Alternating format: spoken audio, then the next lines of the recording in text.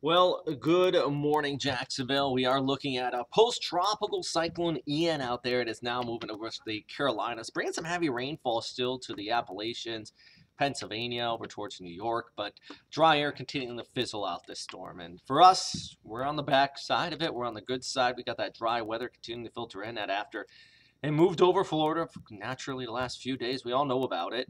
Uh, uh, look at the top side of that storm as it pushed by the first coast, bringing all that flooding to the Palm Coast off towards St. Augustine. And now, after making landfall in the Carolinas, continuing the fade out.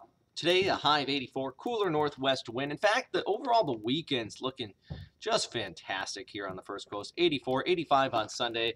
Got a dry front moving through on Monday. That's actually going to drop the temperatures down to a high of only 78 as we go ahead into the start of next work week. So overall, I mean, just look at the moisture in the atmosphere the next seven days. I, I have no rain in the forecast. So uh, after we went through the storm, at least we got some good news through the extended outlook.